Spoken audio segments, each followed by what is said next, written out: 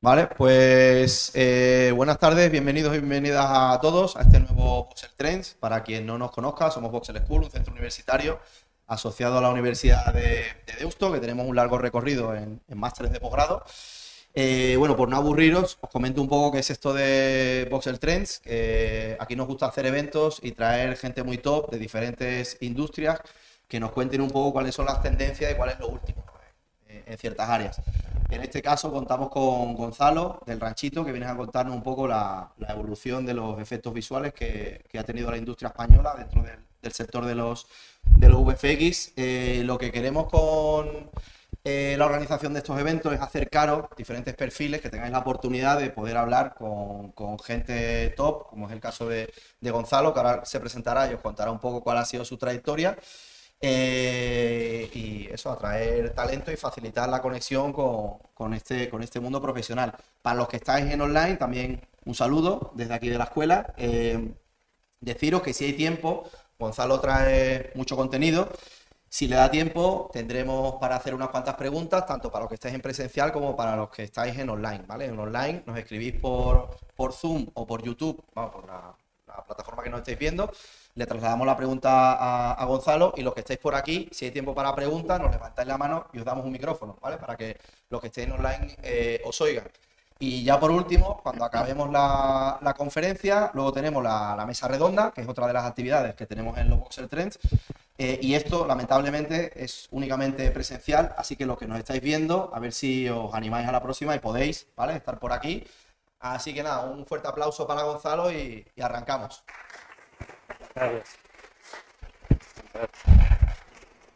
Bueno, eh, hola a todos, muchas gracias por estar aquí. Espero que sea ameno esta horita y no os quedéis fritos con la historia un poco de, la, de los efectos visuales en España. Eh, a ver si consigo esto. Vale. Bueno, pues lo que os voy a contar es lo que yo he vivido. No es algo que he estudiado, no es algo tal, no es algo que yo he vivido personalmente. Yo he pasado por un montón de empresas y todas las cosas que me han pasado, ¿no? Pero para que me un poco para que identifiquéis, yo soy licenciado en Bellas Artes, o sea, yo a mí me das una piedra y me la como, me, encanta, ¿no? soy escultor. Em, y como un escultor acaba como director general, CEO de una compañía, ¿no? Donde ahora mismo, como veis, eh, estoy como director de Corporate Finance, Business Affairs, International Relationships, un montón de cosas muy extrañas. Y dices, qué cosas más raras. Bueno, pues es lo que tiene esta industria, ¿no? Que realmente da igual un poco de dónde vengas, que si tienes talento y ganas, pues vas a poder conseguir hacer muchas cosas, ¿no? Pero básicamente yo he sido un técnico de efectos visuales eh, durante la mayor parte de mi vida profesional. Luego estoy en un montón de cosas muy raras, como pues presidente de la Asociación Española de Productores de Animación, vicepresidente de la Federación Española de Asociaciones de Productores de Animación, que se llama DIBUS, y pues también vicepresidente de Profin, de ALIA, y también una cosa interesante que es miembro fundador del Media Proctec Meetup, que es una cosa muy chula y muy interesante, que si me da tiempo os explico un poco más en mundos digitales. Y esto tiene bastante relevancia con lo que os voy a contar más adelante. Bueno, ¿qué ha pasado en los últimos 25 años? Que son mi vida profesional hasta ahora en España para que se consigan hacer superproducciones. Bueno, pues ha habido muchos, muchos, muchos cambios y unos mucho más rápidos de lo que uno piensa. Ha habido cambios empresariales, ha habido muchos cambios técnicos y tecnológicos y también organizativos. Cuando vemos la evolución, normalmente siempre pensamos en el software o en, o en los RAIS o en la tecnología, pero no vemos que también ha habido muchísimos cambios a nivel empresarial y muchos cambios a nivel organizativo. Y hay otras cosas que siguen igual y que, no cambian. Bueno, esto es un diagrama que me he tenido que estrujar un poco de cerebro para ver cómo encajo estos son un poco las empresas desde los últimos, eso, 25 años. Eh, hay que tener en cuenta que es desde mi perspectiva de las que yo conozco, ¿no? Seguramente me dejo muchas otras, otras que no, que son relevantes y no las he puesto. Bueno, pues yo no soy un historiador de, esto y, un poco lo, os quiero explicar un poco qué ha pasado en base a mi propia experiencia. Lo he puesto en color inchis, que es un poco hortera, pero bueno, pero queda bien. El, tema amarillo son las empresas que no están en Madrid, el resto son empresas que están en Madrid. Em, y todo empieza un poco en Telson. Telson es una empresa que era en su día pues muy, muy, muy importante, y yo creo que eso lo seguirá siendo, eh, que estaba en la calle Pradillo, era un edificio chiquitito, de los cuales era realmente la empresa como, con más nombre a nivel de, postproducción. Y yo vengo de Bellas Artes, para hacerlo muy rápido, eh, ayudaba a mi hermana en rodajes eh, para sacarme dinero para pagar los carboncillos y el papel de uno de 70 que era costaba una pasta y ayudando a rodajes, conocía clientes, etcétera, etcétera. Bueno, una cosa me llevó a otra y al final acabé haciendo pues un máster de 3D, como seguramente muchos de vosotros estáis haciendo. Y, un máster de 3D, pues, pues porque es la única forma realmente de poder entrar en este mundillo. El autodidacta es algo complejo. En ese momento no había autodidactas porque no había información. La información solo la tenías porque trabajabas con una cosa llamada Silicon Graphics, que era un ordenador que costaba un dineral y era inaccesible. O sea que si tú no te metías en una escuela de estas, jamás eh, conseguías ni siquiera la oportunidad de meterte como becario. Entonces empiezo en Telson como becario. Eh, bueno, la cosita azul es por donde he ido yo. Poquito extraño, pero bueno, es, pero es interesante porque nos pone un poco, al final estos nombres, cuando lo veáis las empresas, empezáis a relacionar de dónde han salido estas empresas. Bueno, la cuestión es que Telson de repente llega dinero de un inversor y compran a Daikiri. ¿Quién es Daikiri Spainbox? Daikiri es la empresa un poco más metida en, efectos visuales y Spainbox es la misma empresa, pero separada un poco para la parte de 3D. Entonces compra. ¿Y quiénes son estos? Estos son los mejores, la compañía mejor de España de efectos visuales a finales de los años 90 eh, y 2000. Pero con una gran diferencia, ganan los Goya son, son realmente espectaculares. Con lo cual, mi departamentito de Telson, donde estaba yo de becario, pues obviamente queda absorbido. Con lo cual, hacemos las maletas y exactamente nos vamos a la calle de al lado porque estaban al lado. O sea que fue estupendo, muy, muy, muy conveniente. Y ahí estuve durante bastantes años y ahí es donde conocí a muchísimos compañeros con los que sigo teniendo relación. De ahí, pues entra otra vez otro grupo de inversión telefónica, donde inyecta dinero a Telson y dice, oye, pues voy a comprar Esfera. ¿Y Esfera quién es? Pues Félix Vergés, que es ahora mismo el, el, presidente del ranchito y el que genera el ranchito. ¿no? Y, y, entonces nos vemos y nos movemos, porque ya no cabemos, y nos movemos a la parte de atrás de donde está ahora mismo Vértice 360, en la calle Maratón, donde están los platos, que alguien lo conocerá porque son los platos del hormiguero. Bueno, pues ahí, esa empresa es Vértice 360, que es Telson. Y ahí nos unimos Daikiri, Spainboard, que es la misma empresa, y Esfera. La cuestión es que una cosa interesante es que cuando tú compras una empresa, no solo compras maquinaria, etcétera, etcétera, sino compras de alguna manera el talento que tiene esa empresa. Y no siempre todo el mundo está de acuerdo con que le compren y le cambien y lo muevan y tal. Con lo cual es normal que haya escisiones. ¿Y qué escisión hubo ahí? Una muy importante, que fue miopía. Miopía nace de justamente de aquí, no están de acuerdo y, eh, y montan miopía, que para mí ha sido y sigue siendo la mejor empresa de efectos visuales de publicidad que hay en España. Parecen unos profesionales absolutamente increíbles. Y salen más gente, salen y se montan también User 38, que es una empresa muy creativa y que luego más adelante se van a la media y de ahí Iñaki crea la Livingstone. Bueno, también de forma paralela está desde toda la vida la huella y luego pues otras empresas que yo no sé si todavía Furia Digital existe o no, pues ya eh, Ubica yo creo que sí, con Rubén, Metropolitana, Lamprost y luego tienes otras, por ejemplo, Entropy, que no, todas estas son de Barcelona, pero Entropy es de Zaragoza y que eh, luego eh, Iñaki crea X Reality ahora mismo, ¿no? que está ahora mismo en, Madrid. Eh, bueno, entonces, ¿qué pasa ahí? Pues que hay otras empresas como Infinia, como Madpix, Serena y los Daltons, eh, que también está un poco purulando. Yo una vez que estoy en maratón, estoy ahí un par de años y decido moverme a MadPix. ¿Para qué?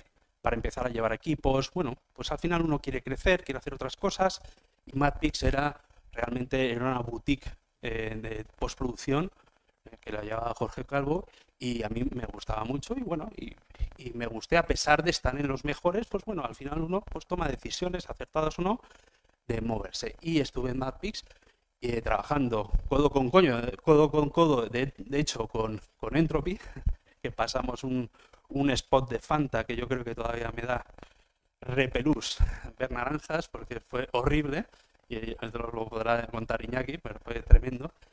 Y la cuestión es que, em, bueno, eh, otra vez pasa con medios de fondos de inversión y cosas de ese estilo, pues de repente MediaPro compra Molinare, lo cual absorbe además MadPix y, e Infinia, que son esas líneas que llegan a Molinare, las absorbe. Y entonces, claro, a ti tú estás en una empresa y te absorben, pues tú haces lo mismo que me pasó con Daikiri, pues haces las maletas y te vas. Esta vez, pues me fui del retiro, no me fui muy lejos, pero, pero nos fuimos todos a Molinare, que está al final de la calle. Al final de la calle, no, la Alcalá no, está por ventas, perdón. Pues nada, maleta y allí. ¿Y qué pasa? Que curiosamente, todas las personas, a través de Félix, etcétera, que estaban en Telefónica en también se mueven. Y vuelvo a estar con las mismas personas que estaba desde hace años. ¿Por qué se mueven? Por intereses, por hacer las cosas bien. Porque muchas veces como técnico no estás de acuerdo con la dirección de cómo se hacen y quieres hacer las cosas bien y tienes esa voluntad. Entonces, pues bueno, pues no te hacen caso, pues muchas veces pues cogen y dices, pues hago las maletas y me voy. Y bueno, y en Molinare, pues ahí volvemos a estar otra vez todos juntos y eh, a partir de Molinare salen muchas empresas también, pues Human, Dead Planet, Kinema, y yo monto la bombilla a la vez que se monta el ranchito. Lo, montamos de una forma paralela. Eh, el ranchito, pues obviamente con muchísimo más eh, empaque, y la bombilla lo montamos tres socios, pues con lo que nos daban el paro y con dos pesetas eran muchas. Y la verdad es que muy bien, ahí aprendí todo lo que son los negocios y curiosamente años más tarde me llama Félix para que le ayude a estructurar el ranchito. Y, normalmente te llama y dice, bueno, pues a lo mejor es para supervisar o para hacer algo técnico. dice, no, no, no, para ayudarme a gestionar el negocio, lo cual pues sorprende.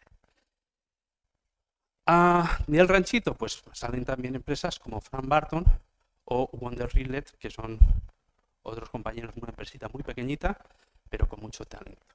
Y luego además hay pues otras empresas que no necesariamente salen de todos estos tinglados, pues como ahí tenéis como Ilusorio, Twin Pines o Redefine, que estos sí hay pues trabajadores del ranchito, pero vienen más por la parte de dinero, ¿no?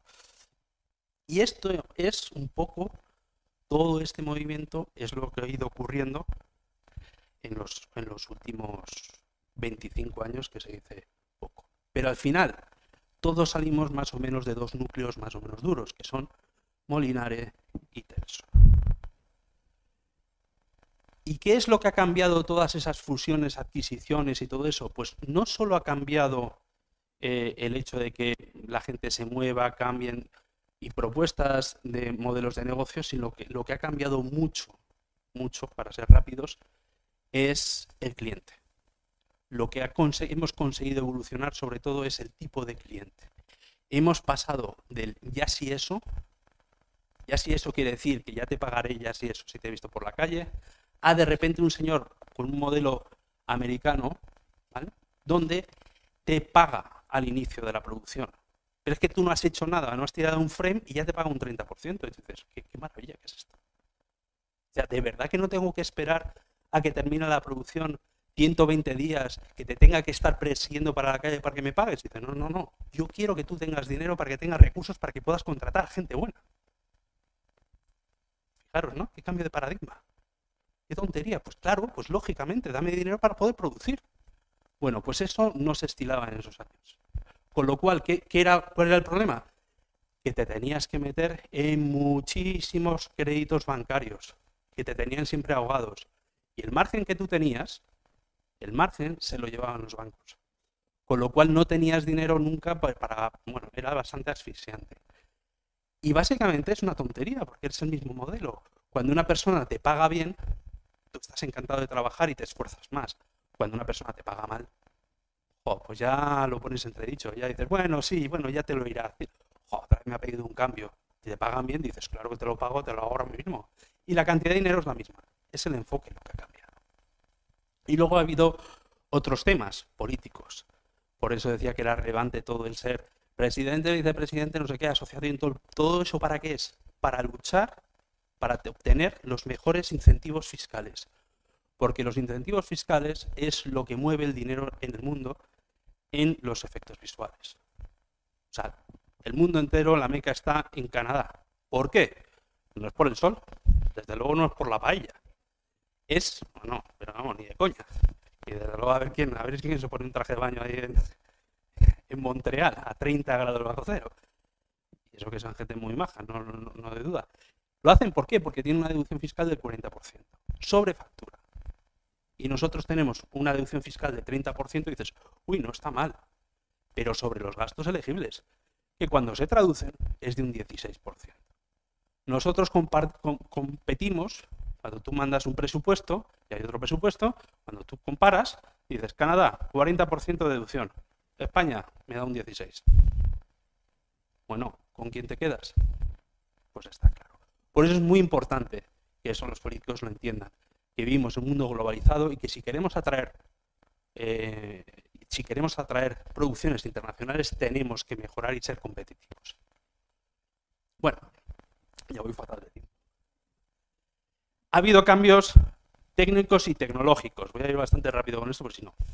Bueno, hay que entender cómo empezamos nosotros como artistas a trabajar, que era cómo empezamos nosotros a trabajar eh, el 3D. Y era bastante desesperante. Tú tenías un, cacharro, el Silicon Graphics, que costaba un dineral, y, básicamente el interface era eh, horrible, pero lo más gracioso es trabajar siempre en wireframe. Cuando tú querías ver la cosa en shading, le dabas a un botón y veías cómo hacía una línea.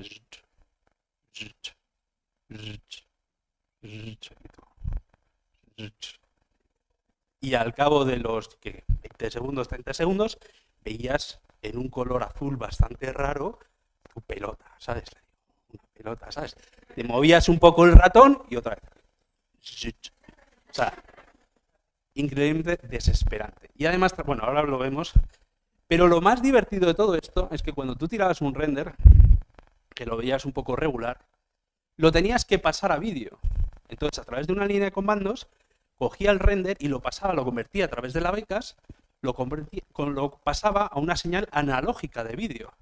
Y tú tenías un monitor que tenía, creo que si no me recuerdo mal, 20 segundos de vídeo, pasabas tu render y pasabas primero el color, el RGB y luego el alfa. Y así es como tú comprobabas que la pieza estaba guay. Imaginaros, o sea, era... Y que era todo analógico. Y luego eso se capturaba en esas cintas, en los, en los Betacam o en la propia memoria, se pasaban departamentos y luego a través de los Flame, que son unos, unas máquinas realmente extraordinarias, de, ahora de Autodesk, antes era, no me acuerdo de quién, de Discrete, no, no recuerdo, Discrete, ¿no? Sí.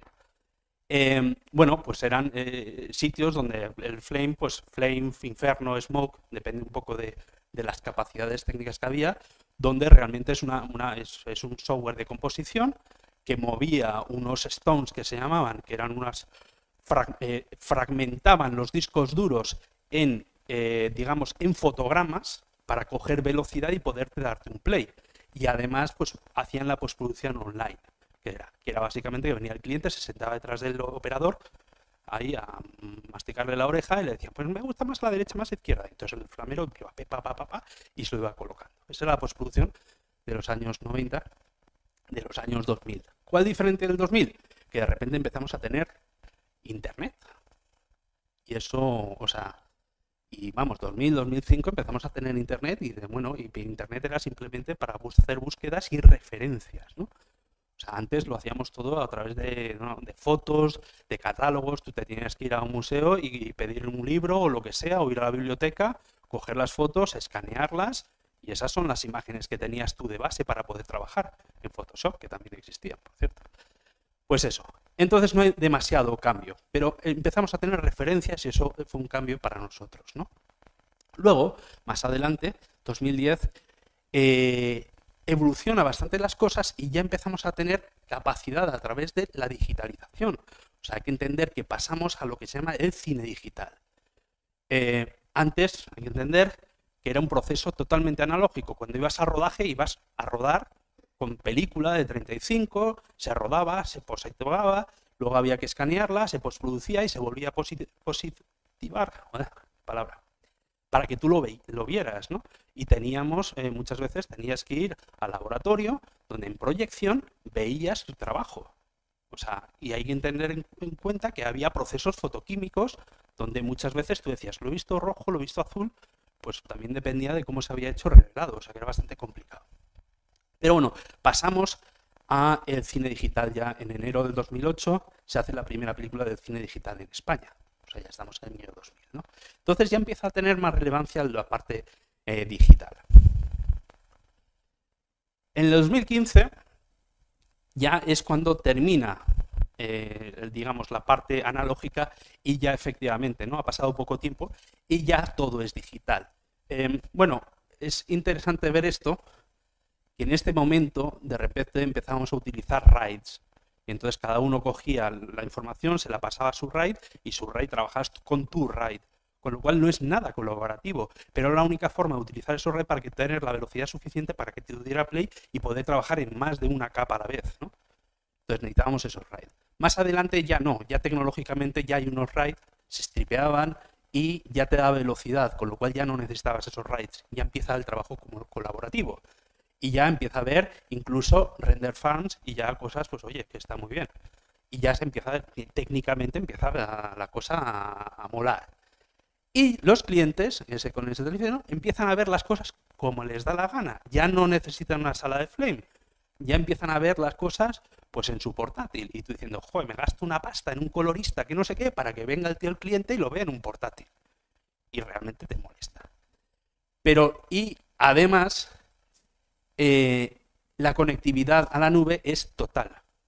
O sea, si ahora pensamos las barbaridades a nivel de seguridad que hacíamos, se te cae el alma. O sea, los clientes directamente cogían, se metían en tu servidor con cable y se conectaban para tener internet. O sea, era un desastre total. Pero no teníamos la sensación de que el principal activo del cliente eran los frames que tú generabas. No teníamos ni idea del valor. Y por eso no estaba protegido. Y eso era, vamos, hablando mal, el coño de la Bernarda. O sea, era tremendo. Y en muy poco tiempo, ¿vale? Pasamos a lo que estamos ahora. Aunque trabajemos tres, la liada que tienes que montar es grande. ¿Por qué? precisamente por eso. Porque lo más importante del cliente son los datos, los archivos. Y te, te obligan a tener unos sistemas de seguridad tremendas. ¿Por qué? Porque una filtración por ejemplo, tú tienes a Jon Snow que le van a matar, lo tienes tú en tu servidor. Y hackers van a intentar buscarlo.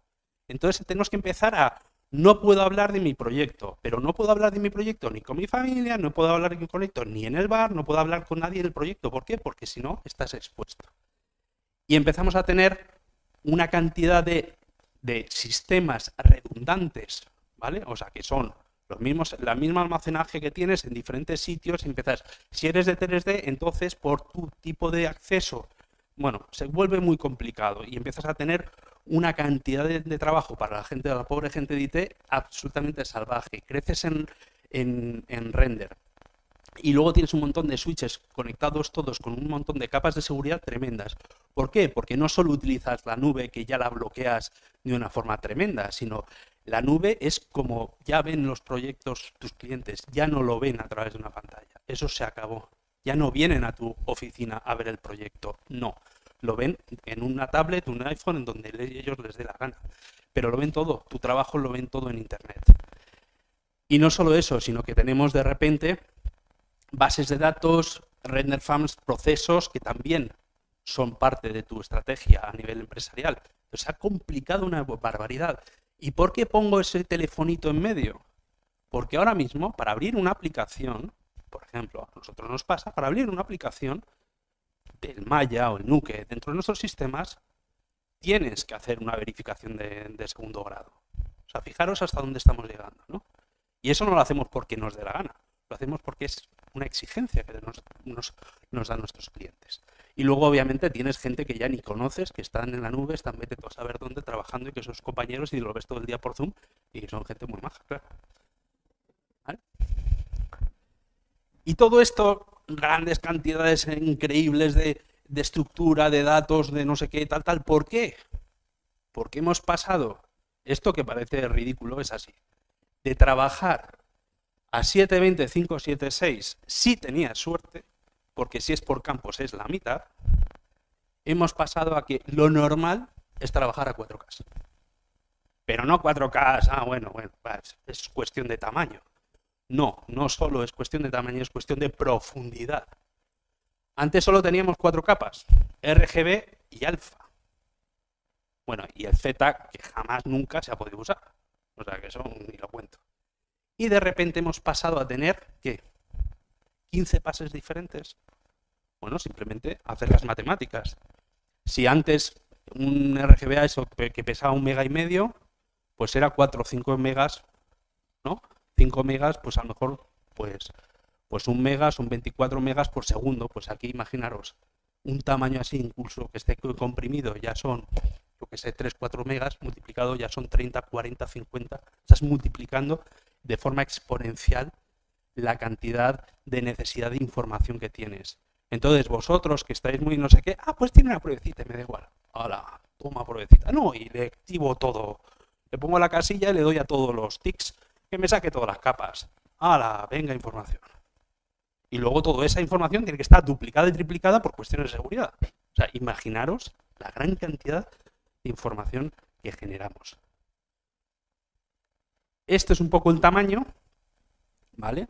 Que trabajamos frente al, al tamaño en el que trabajábamos antes. Y esto a nivel perceptual es esto. Yo he estado durante muchísimos años trabajando con estas resoluciones. Y esto es muy divertido cuando te dicen, ala, traquéame el hombro del chaval. Y te quedas diciendo, sí, bueno, en un frame está, en otro frame no tiene hombro, o sea, esto es real, esto es verdad. O sea, era imposible. Y los sistemas de track eran todos manuales. Bueno, yo empiezo con esto, el maravilloso alias Power Animator, y esto es el color azul tan absolutamente asqueroso que le cogimos de una manera tremenda. Pero la vida era mucho más sencilla, porque fijaros, ¿qué parámetros teníamos de render? Cuatro. no había más. Y modelábamos en NURBS, que es una cosa infernal, es una cosa realmente ridícula.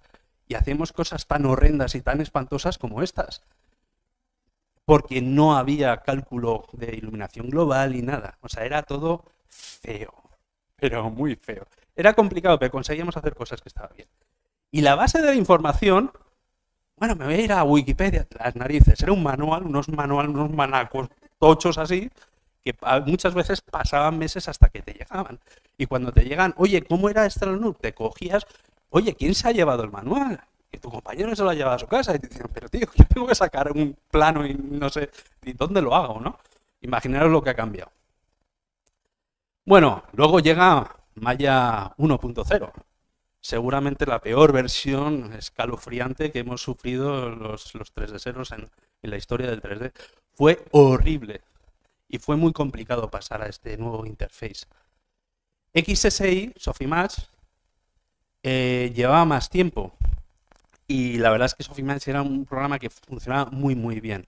Lo que pasa es que ese así que tenía un, aspecto todavía más asqueroso que el, que el Maya eh, funcionaba realmente, realmente bueno. bien. Y luego de Sofi pasa a XSI y de XSI yo no sé ni siquiera si ya se sigue trabajando. Yo no, lo sé. Pero eh, XSI realmente fue bastante más avanzado por temas de render, porque utilizaba Mental Ray y Maya no tenía Mental Ray y era bastante horrible. Em, hasta que luego ya lo incorporaron, etcétera, etcétera. Pero bueno, hay una evolución bastante grande desde el Maya 1 al Maya 2023 que vamos ahora. ¿Y quiénes han comido la tostada de los softwares de 3D? Pues aquí tenemos a Houdini, claro vencedor, donde todo se está moviendo de una manera, nos guste o no, a, Houdini y eh, Unreal Engine, que también es como todo muy super guay, guay, tal, y luego está lleno de trucos, pero vamos, como el almendruco. O sea que para producción tampoco creáis que es la panacea. Pero es verdad que han sido los grandes ahora mismo vencedores. ¿Y en composición qué se hacía? Pues teníamos una cosa que era Shake. Que Shake funcionaba bastante bien, es el inicio de Nuke. Y, el, y realmente con lo que se trabajaba a nivel profesional era el Inferno, el Flame, lo que hemos visto antes. Y eran softwares muy avanzados de composición, también nodales y se hacía prácticamente todo en Flame. Pero era poco colaborativo.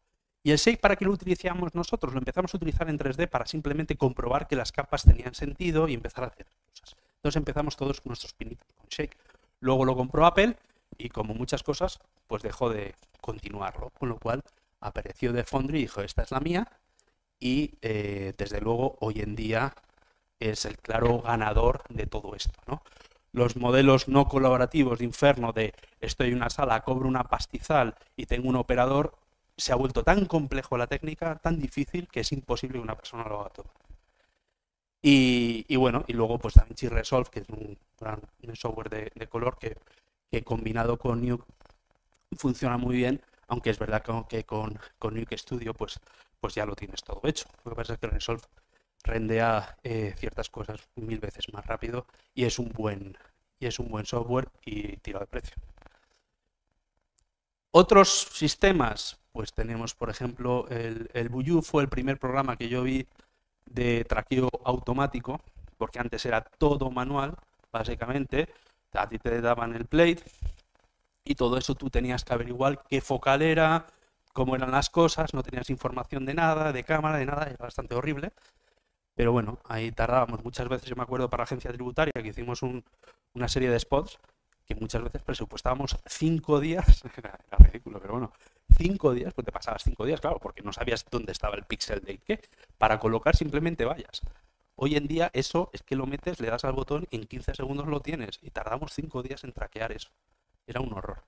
Bueno, Buju pasa a PF Track, pero realmente 3D Equalizer, el software de toda la vida, el que sigue siendo un poco el referente. Y pasamos a un tema de, eh, de, LiDAR que cada vez está más presente en todos los shows para justamente para que ayudar a los softwares de, de traqueo eh, con Capture Reality, eh, que realmente es, es, un poco el, la creme de la creme de, de los softwares de, de, esto.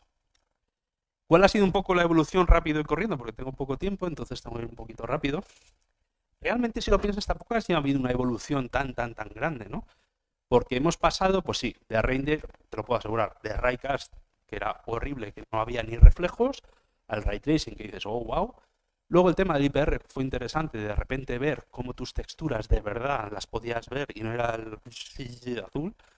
Eso fue una gran... Pero luego este más de Global, el Global Illumination, el Ambient Occlusion, nosotros en Maya, el Global Illumination y Ambient Occlusion lo tenían XSI porque era Mental Ray, nativo de Mental Ray y nosotros eh, no, lo teníamos en malla. Y entonces yo me acuerdo que más de una vez en producciones he tenido que estar pintando los occlusions, porque si no, no, no había tu tía. O sea, bastante asqueroso. Luego temas de HDRI y bueno, Mental Ray y Arnold Render, y Arnold Render que al final se ha quedado Arnold. Y es verdad que ahora mismo hay más, como Redshift y otros tipos de render, pero básicamente el estándar yo podría decir que pasó de Mental Ray a Arnold Render. ¿Cómo hemos iluminado? Pues no ha habido mucha evolución, porque realmente mm, luces puntuales, direccionales, y luego de repente tenemos luces de área, que de unas sombras ahí, y dices, wow, qué pasada, que era básicamente un array de luces puntuales, es una estupidez enorme. Y de ahí pasamos a, con gracias al, Global Illumination, pasamos a poder iluminar como se ilumina en la realidad, como se ilumina un, que tú pones un foco y pones un rebote. Empezamos a iluminar con planos en 3D, lo cual es estupendo porque empiezas a entender mejor cómo se hace en, una dirección de fotografía y, y rebotes, lo que es maravilloso. A nivel de modelado, pues pasamos de los NURBS, que eran horribles, a los polígonos, que eso gracias a Dios era muchísimo mejor, y luego empezamos a poder modificar a través de una herramienta Paint, podemos empezar a modificar los, esos polígonos, no ya cogías, pinchabas el polígono y lo movías, sino de repente tenías un pincel que podías coger varios a la vez y estirarlos y meterlos. Era como una especie de drogadicción, porque era una cosa diciendo, qué maravilla, ¿no? Y luego de repente llega ZBrush y nos dejamos todos locos. O sea, qué cosa, qué locura, ¿no? Y las cosas que hicieron. Más adelante, un poco más adelante, aparece Madbox para hacerlo más sencillo. Y ahora mismo ya estamos en temas procedurales mm, es verdad que van a llegar a ser extremadamente complejos. De los UIs pasamos UDIMs, no sé mucho más. A nivel de composición, de 2D a 2,5D, que eran esas plaquitas que ponías la camarita que ay, como mola, a de repente la revolución a través de los, de los temas de traqueo, a los point cloud. De repente tú puedes ver una descripción de la escena con píxeles en el espacio gracias al point pass. O sea, una verdadera revolución que nos acerca a un mundo 3D. Ahora los compositores tienen un espacio totalmente 3D con el que jugar y es una pasada, es una maravilla. Intercambio de, formación, pues mira, el OBJ no servía para nada, el FBX todavía menos, a veces conseguías pasar eh, curvas de animación, bueno, un desastre. Y es verdad que la Alembic ahí sí lo solucionó. Y ahora tenemos otra cosa, que es el USD, que toda la gente piensa que es bueno, mucha gente que piensa que es como un eh, sistema de intercambio de archivos y no, es un pipeline por sí. Y eso sí es realmente un gran cambio que tenemos ahí. A nivel de rodaje, cuando ibas tú supervisor y vas a un set, ¿qué, qué, herramientas disponías? Pues disponías de una cosa que se llama metro.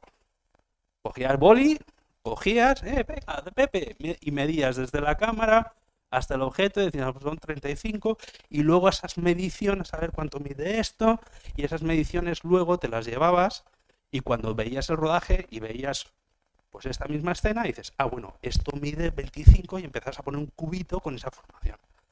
Bueno, pues ahora tenemos, empezamos con fotogrametría, que es, ostras, si hago diferentes fotos de diferentes sitios, me lo triangula un software y tengo el modelo en 3D. No tengo que estar con el metro ahí qué maravilla. Y luego llega otra cosa diciendo, es que ni fotos. Cojo, coloco una cosa, me hace un LIDAR, un, un, láser scan y a tomar viento. ¿vale? Y no solo eso, sino que tenemos drones que utilizan fotometría y además LIDAR y es una maravilla. Otra cosa pues, que ha revolucionado un poco el, el tema es, es, todo el tema de Virtual Production, que es una cosa muy novedosa que se lleva haciendo exactamente como 100 años, que es la retroproyección, pero con unas cosas muy, muy chulas conectadas a, las cámaras y que lo ves con Unreal y es una pasada, es una herramienta más, pero muy chula. Y ahora pues estamos con todo el tema de vídeo volumétrico, que ni Dios sabe lo que es, pero hay un señor muy simpático, muy agradable, muy inteligente, se llama Víctor Feliz, que está en, no, Zaragoza no, en, en Valladolid, que tiene un estudio realmente avanzado de vídeo volumétrico, o sea que os invito a que habléis con él porque es una pasada. Y esto ha sido un poco lo que ha pasado en los últimos años. ¿Qué pasa en el futuro? Pues no tengo ni idea, porque con Machine Learning, eh, inteligencia artificial y los RPAs, nadie sabe qué va a pasar. Pero lo que sí se va a pasar es que tenemos los mismos clientes capullos de siempre y encantadores también, que también los hay, y nos seguirán pidiendo cosas imposibles y se las haremos. Cambios organizativos. Voy fatal de tiempo, ¿eh? Lo digo ya. Organizativos. Mogollón. Hemos pasado del hombre orquesta, del Juan Palomo, yo me lo guiso, me lo como, de que me mandan a mí el script, le hago el modelado, le hago el look el rig, layout, ¿vale? Cojo el shot, le hago el, match move, me lo, lo, coloco ahí, la cámara, tiro render y se lo pasa a un tío muy majete que se llama Comper, él pega capas, pega las capas y las mandamos. Eso mola. Y con dos tíos, ala, a correr. Pues no. Ahora tenemos una cosa horrible que se llama pipeline. Y además el pipeline tiene una cosa muy interesante y muy bonita. Que todo el mundo, empresa esté donde esté, siempre piensa que tiene el peor pipeline. Si no lo tienes es un horror. Y si lo tienes es el horror. O sea que, en fin. Y es muy interesante a nivel de cómo se complica a nivel organizativo. Pasamos, perdón, pasamos de estos son los departamentos que había hace relativamente poco tiempo a estos son los departamentos que necesitas. Se ha complicado todo pues un poquillo. ¿Vale? Y el pipeline, pues eso, no solo tienes el workflow que tenías antes, sino que además todo tiene que estar conectado para que el minimizar el error humano, entonces cuando tú publicas tiene que ir con un naming convention que todo el mundo discute hasta la sociedad. Y llevamos 10 años 20 años hablando de naming convention y todavía no se sigue hablando del naming convention, es un horror, y de que si le llamo a esto de una forma o de otra, y todo, cada uno de los departamentos publican todo para que todo el mundo esté trabajando a la vez, y alguien, que normalmente suelen ser los cámaras, manda la cámara mal y se monta un pollo de mil pares de narices. Y ya el de comp también ya está en modo 3D, con lo cual también coge la cámara del tío que ha publicado mal la... Bueno, se complica un poco pero mucha gente trabajando a la vez para conseguir resultados bastante increíbles. La realidad es que estos cambios que parecen que han pasado en mucho tiempo, no es cierto. Estos cambios, por ejemplo, puedo hablar de mi experiencia, han pasado en periodos de 3, 4 años. Nada más. He hecho una conversión de una estructura de eso a eso en 3 años, nada más. O sea, para que os fijéis que hemos evolucionado mucho en muy, muy poco tiempo. Esto es un ejemplo de qué se hacía antes de estas grandes producciones. Esto es una producción de la productora antes de que la, que la dejara. Las cosas que se hacían. Tampoco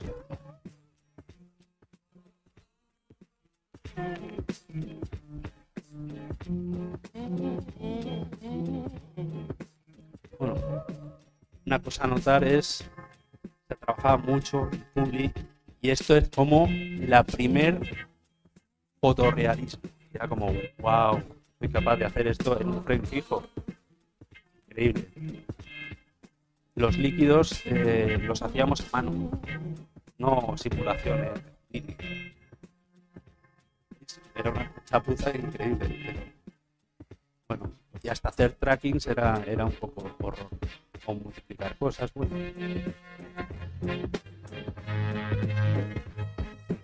Pero sobre todo hay un cambio de modelo también de negocio, donde la publicidad antes pagaba muy bien y ahora ya no tan bien.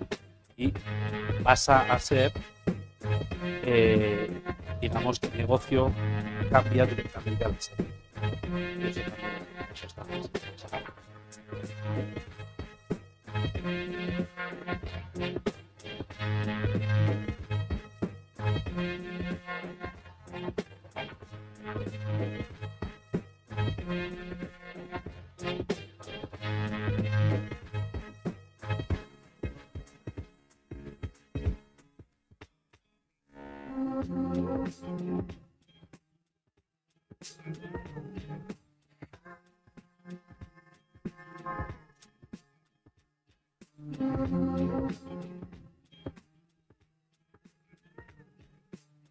Todos esos líquidos y todo eso eran mal.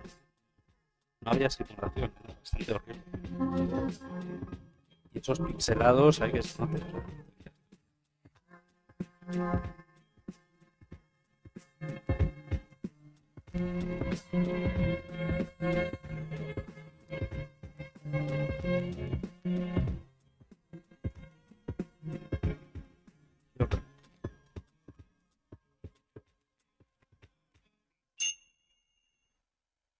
bastante asqueroso. Pero es lo que había, chicos. Esto es lo que había. Bueno. ¿Y qué es lo que hay ahora?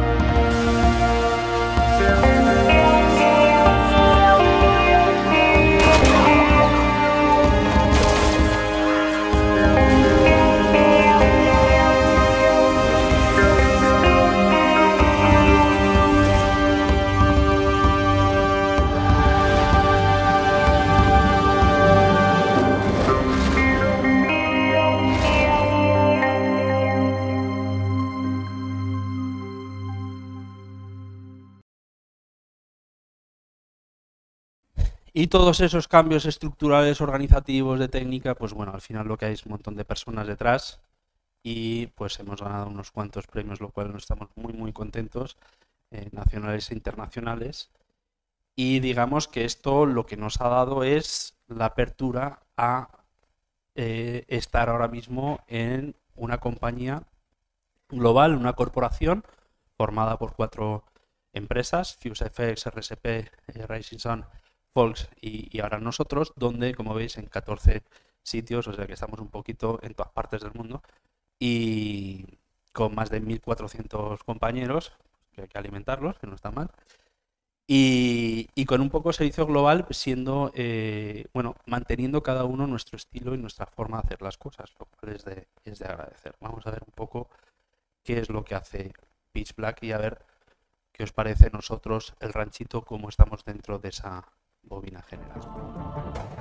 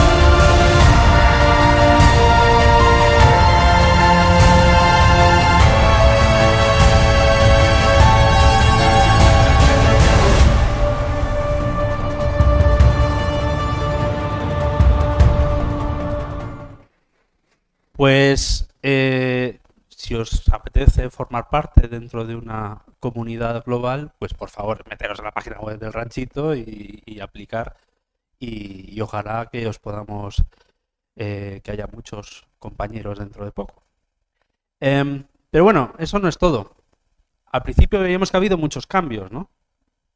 Pero ¿qué es lo que se ha mantenido igual? es verdad que hay ciertas críticas al respecto de, ah, no, es que ahora qué, chorradas. ¿Qué es lo que se ha mantenido igual durante todos estos años? Pues nosotros. ¿Por qué? Porque seguimos siendo los mismos técnicos que hace 25 años, que hacemos lo mismo, que trabajamos todos los días, que tenemos talento, que somos ágiles, somos muy buenos, señores, muy buenos. Y es verdad. Y eso la gente lo ve.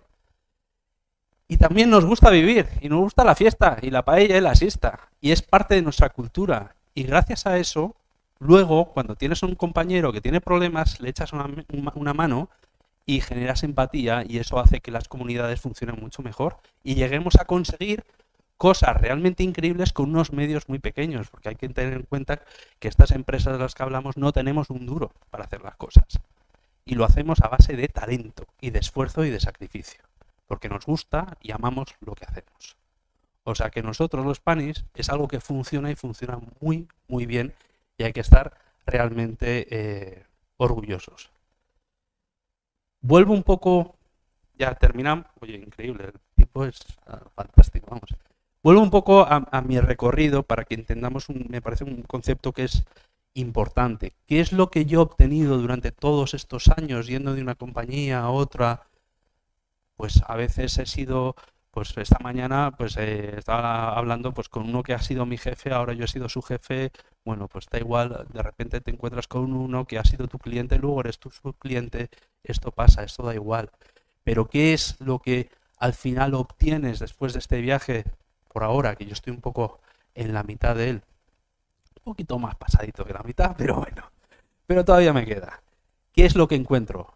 Grandes amigos, porque de eso se trata porque este trabajo se trata de conseguir amistad, de tener empatía y entender que esto es un viaje largo y que acompañado con buena gente se hace más llevadero. Por lo cual, mi consejo, para que os sirva, con mi propia experiencia, es cuidar al Señor que está al lado de ti, porque esa persona luego te abrirá las puertas. Finalmente, ya termino, lo que hablamos de qué era eso de qué, tal del meetup. Bueno, pues el Media Proctec es una cosa que eh, hicimos en una cena, pues obviamente con más cervezas de las debidas, y Alberto, que es, realmente es un, es un tío increíble, se le ocurrió, oye, ¿por qué no hacemos esta cosa que hacía yo en Los Ángeles de no sé qué, qué tal? Y montamos una especie de grupo donde nos reunimos y contamos un poco las cosas técnicas y de producción y nos reunimos y, ¿cómo vas a decir que no? Sí, y otra caña, venga. Y la cuestión es que efectivamente, y como bueno, los que estamos ahí, que empezamos con este lío gracias a, también a, Manuel Meijide, eh, realmente lo estamos haciendo, llevando a cabo. Entonces son unas reuniones que tenemos, pues como hacemos tres, cuatro al año, donde invitamos a gente muy, muy top, que nos hable de cosas muy especiales que a nosotros nos interesa. Entonces, el próximo meetup lo vamos a hacer en La Coruña, el día, no me acuerdo qué, el 9 creo que es, de julio, en Mundos Digitales. No sé si conocéis Mundos Digitales, pero os, aconsejo que vayáis, porque ahí es donde no solo hablan de cosas técnicas, etcétera, etcétera, sino luego te vas de juerga y lo pasas muy bien. estás bastante más borracho que vivo, pero y es realmente divertido y está muy bien. Conoces mucha gente, es fabuloso. Eh, no me dan dinero por esto, hay que decirlo, pero, pero sí es verdad que ahí os contaré un poco eh, cómo podéis participar en estos meetups que son realmente eh, sensacionales. Y nada más, justo.